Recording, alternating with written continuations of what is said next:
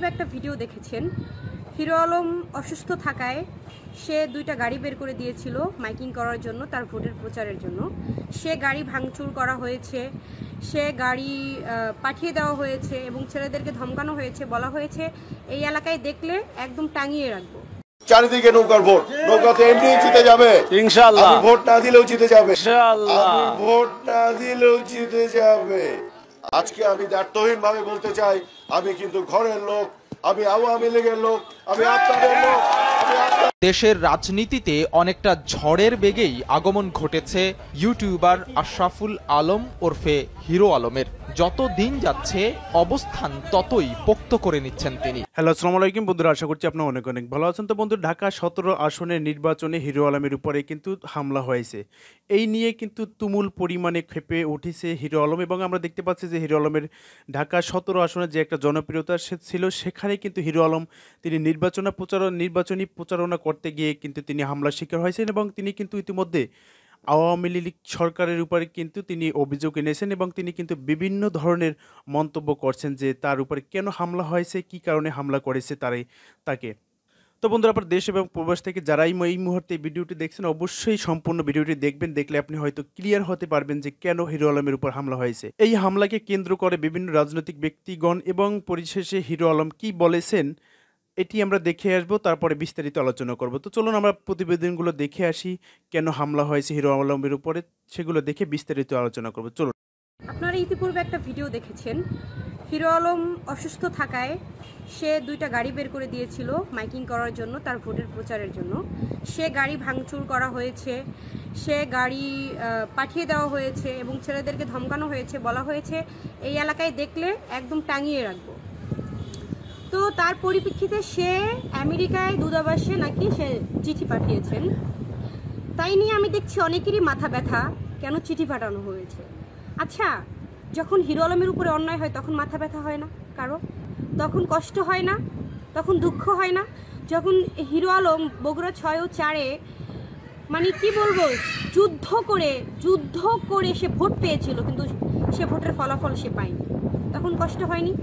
এই যে হাজার বার সে আপনাদের সামনে আসে, সে হাজার বার সংবাদ সম্মেলন করে, হাজার বার সাংবাদিকের সামনে এসে এসে বলে, আমার সাথে এই অন্যায় হয়েছে, আমার সাথে ওই অন্যায় হয়েছে, কই? তার অন্যায়ের তো প্রতিবাদ করা হয় না। সে দেশের রাজনীতিতে অনেকটা ঝড়ের বেগেই আগমন ঘটেছে ইউটিউবার আশরাফুল আলম ওরফে হিরো আলমের। যত দিন যাচ্ছে, অবস্থান ততই পোক্ত করে নিচ্ছেন তিনি। তার ভাষা, রুচিবোধ ও প্রজ্ঞা নিয়ে অনেকে আপত্তি তুলেছেন বটে, কিন্তু তাকে এড়াতে পারছেন না। শূন্য থেকে উঠে আসা সেই হিরো আলমই নির্বাচন ইস্যুতে এবার চিঠি লিখেছেন ঢাকার মার্কিন দূতাবাসে।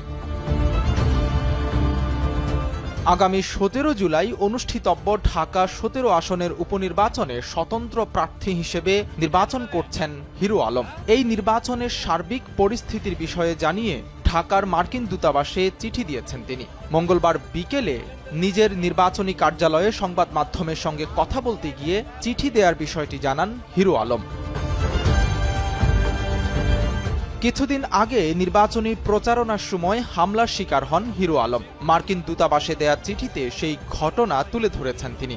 হিরো আলম দাবি করেছেন, মার্কিন দূতাবাস থেকে তার পাশে থাকার আশ্বাস দেওয়া হয়েছে। পাশাপাশি নির্বাচন পর্যন্ত কোনো সমস্যা হলে তাও তাদেরকে জানাতে বলেছে।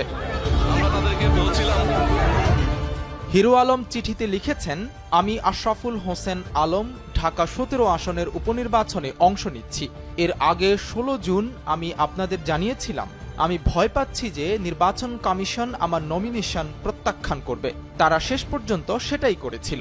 তবে পরে আমি আপিল করে নমিনেশন ফেরত পেয়েছিলাম। হিরো আলম লিখেছেন, আমি বিশ্বাস করি আপনাদের কাছে আমার পাঠানো মেইল তাদের সিদ্ধান্ত পরিবর্তনে গুরুত্বপূর্ণ ভূমিকা রেখেছে। সম্প্রতি সাততলা বস্তি এলাকায় নির্বাচনী প্রচারণা চালানোর সময় স্থানীয় আওয়ামী লীগ নেতার সরাসরি নির্দেশে আমার ও আমার অনুসারীদের ওপর হামলা হয়। এই ঘটনার প্রেক্ষিতে নির্বাচন কমিশনে গিয়ে অভিযোগ দায়ের করার চেষ্টা করেছিলাম। কিন্তু সেখান থেকে কোনো ফলাফল ছাড়াই আমাকে ফিরতে হয়েছে। হিরো আলম ঢাকার মার্কিন দূতাবাসের উদ্দেশ্যে বলেন, অন্য কোনো উপায় না থাকায় আমি আপনাদের জানানো এবং বিবেচনার স্বার্থে এই চিঠি লিখেছি। আওয়ামী লীগের লোকজন বুঝে গেছে, তারা আমার সঙ্গে জিততে পারবে না। এজন্য তারা আমার ও আমার লোকজনের ওপর হামলা করছে।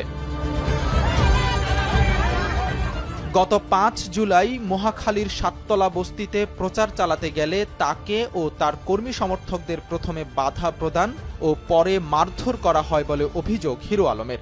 এ ব্যাপারে তিনি রিটার্নিং কর্মকর্তার কাছে লিখিত অভিযোগ করেছেন। অভিযোগের পরিপ্রেক্ষিতে বিষয়টি তদন্ত করে আইনানুগ ব্যবস্থা নেওয়া হবে বলে জানিয়েছে নির্বাচন কমিশন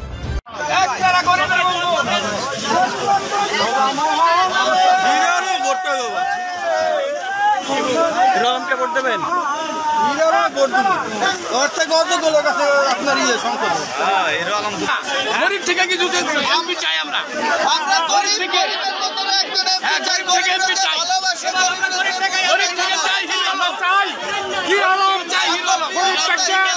আমরা কে চাই তার গরিব মানুষের কথা বলে হিরো আলমের সংসদে আমাদের গরিবের মানুষের কথা বলবে। আমাদের খাওয়া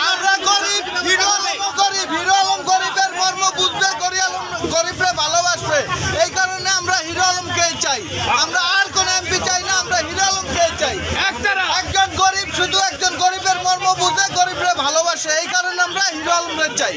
আপনারা ভোট দিবেন হিরো আলমকে? গতকাল দেখলাম যে একটা জায়গাতে হিরো আলম নির্বাচন প্রচারণা করতে গিয়ে বাধার সম্মুখীন হচ্ছে। আপনারা যারা ভোটার রয়েছেন তারা এই বিষয়ে আসলে হিরো আলম কতখানি সহযোগিতা হিরো আলমকে শুধু হিরো আলম না এটা আমরা যত ভোটাররা আছি হিরো আলম হয়ে আমরা এটা প্রতিহত করব এটার প্রতি মানে আন্দোলন করব। মানে হিরো আলমকে কেন ভোট দেবেন আপনারা হিরো আলম গরিব গরিবের মর্ম একদম গরিবেই বুঝে। এই কারণে হিরো আলমরা আমরা চাই হিরো আলম আমগো কষ্টটা বুঝব আমগো পাশে থাকব। এই কারণে আমরা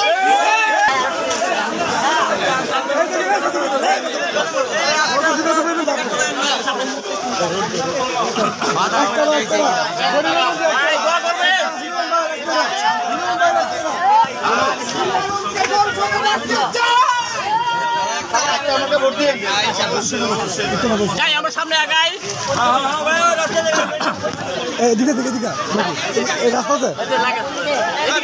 এদিকে।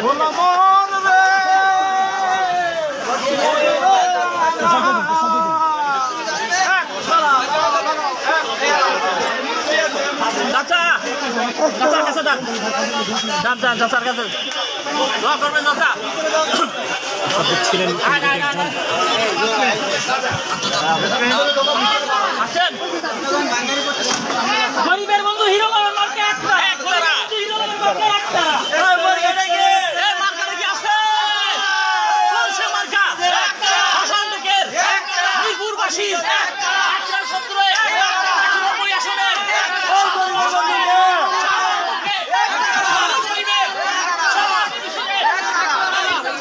আমাদের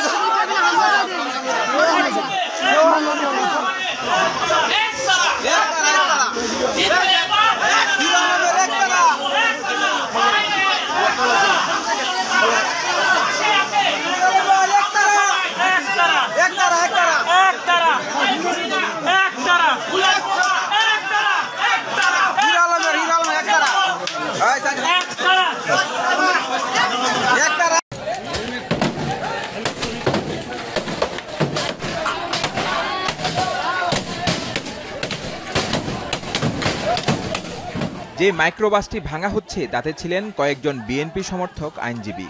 যারা ঢাকা থেকে নরসিংদী এসেছেন দলের যুগ্ম মহাসচিব খাইরুল কবির খোকনের বিরুদ্ধে করা দুটি হত্যা মামলার শুনানি করতে।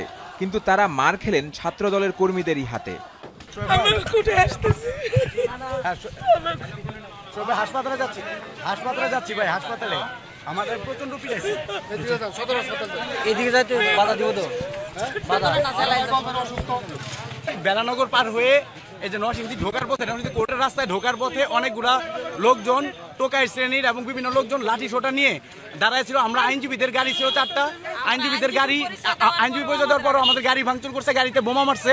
আমাকেও প্রচণ্ড ভাবে পিটাইছে আমি এখন হাসপাতালে যাচ্ছি। তিনটি মাইক্রোবাস ভেঙেই ক্ষান্ত হয়নি ছাত্রদলের কর্মীরা। তারা আদালত প্রাঙ্গণে কাফনের কাপড় পরে দফায় দফায় শোডাউন করেছে। শহরের প্রাণকেন্দ্রে লাঠি হাতে ছাত্রদলের এই শোডাউনে বিস্মিত শহরবাসী। পুলিশের সামনেই চলেছে তাদের এই তাণ্ডব, এমন অভিযোগ করেছেন কেউ কেউ।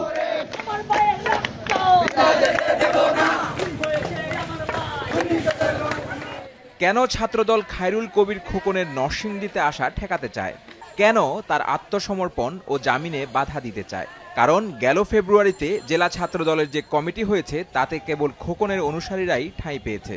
আর খোকনের সেই পকেট কমিটির প্রতিবাদে শহরে মিছিল করতে গিয়ে গুলিতে নিহত হয়েছেন সাদেকুর রহমান ও আশরাফুল আলম নামের দুই নেতা।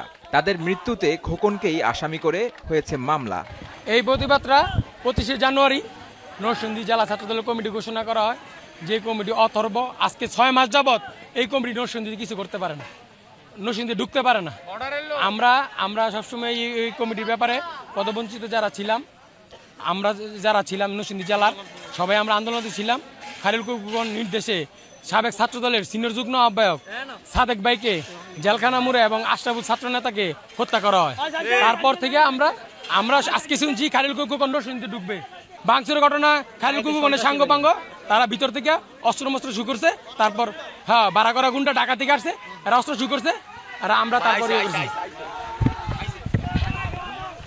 আদালত প্রাঙ্গণ সহ গোটা শহরেই ছাত্রদলের পদবঞ্চিত বিক্ষুব্ধ কর্মীরা লাঠি হাতে খোকন সহ তার অনুসারীদের খুঁজে বেড়াচ্ছে বলে জানা গেছে। তবে জেলা পুলিশ বলেছে পরিস্থিতি নিয়ন্ত্রণে রয়েছে তাদের। ইতিপূর্বে নরসিংদীতে দুইটা মার্ডারের ঘটনা ঘটেছে। সেই মার্ডারকে কেন্দ্র করে আজকে যেন আজকে একটা বিশেষ দিন। আজকে যেন সহিংসতার পরিবেশ সৃষ্টি না হয় নরসিংদীতে, সেজন্য আমরা নরসিংদীর বেলানগর মোড় থেকে উপজেলা মোড় এবং পৌরসভার সামনেও আমরা পর্যাপ্ত পুলিশ ফোর্স মোতায়েন করেছি, যেন কোনো রকমের সহিংস ঘটনার সম্ভাবনা না থাকে। আমাদের কাছে নিউজ ছিল যে আজকে একটা সহিংস ঘটনার সম্ভাবনা হতে পারে। সেজন্য আমরা পর্যাপ্ত পুলিশ ফোর্স মোতায়েন করেছি। দুপুর দুইটার দিকে কড়া নিরাপত্তার মধ্যে আদালতে আত্মসমর্পণ করেন খায়রুল কবির খোকন। ঢাকা সতেরো আসনে হিরো আলম কতটা জনপ্রিয় হয়ে উঠেছেন অবশ্যই আপনি দেখতে পারলেন এবং বুঝতে পারলেন। তো এই সম্পর্কে বিভিন্ন ব্যক্তিবর্গ এবং সেখানকার জনগণ কি ভাবছেন, তাকে নিয়ে কতটা স্বপ্ন দেখছেন, অবশ্যই আপনি বুঝতে পারলেন এবং দেখতেও পারলেন। তো এই সম্পর্কে আপনার মতামত আপনি কমেন্ট সেকশন গিয়ে জানাতে একদম ভুলবেন না। ধন্যবাদ।